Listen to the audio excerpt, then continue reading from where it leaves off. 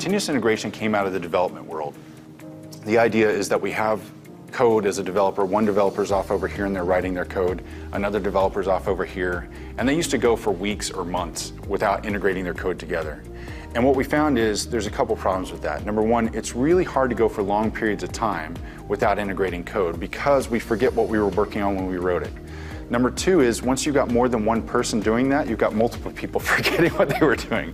And then not only that, we're dealing with the highly complicated activity of integrating code together. And the longer time period that is, the more code that's there, whatever.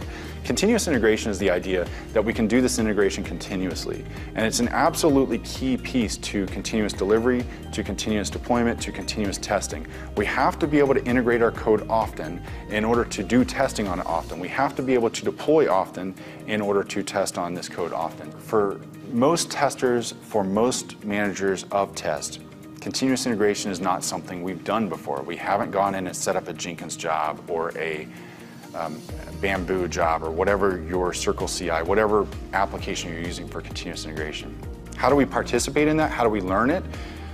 Well, one key way to learn anything is by doing it right? What I find when I'm training people, when I'm working with folks, is I find that I put examples in front of people, I do tutorials, I make them do the thing that they're learning, and they learn it better.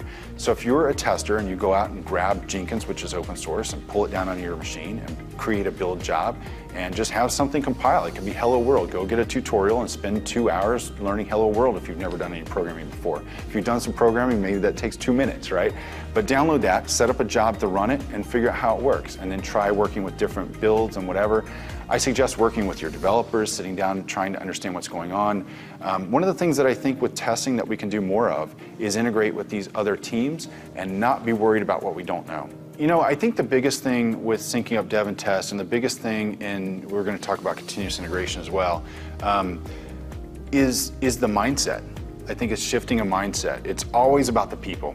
And it's the people that are going to make this work, the process that's going to make it work. It's not any tool, it's not any methodology. You can use a methodology, and provided you have great people that follow the methodology, you can have great results.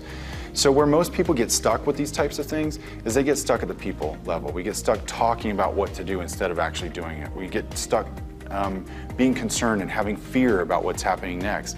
Uh, I see teams that don't want to move ahead with continuous integration or continuous delivery or continuous deployment or whatever it is and they're stuck because they fear what's going to happen next. So one of the things that happens with continuous integration and continuous delivery and test automation is people say, hey, we have this shifting world underneath us. The whole earth is moving underneath us.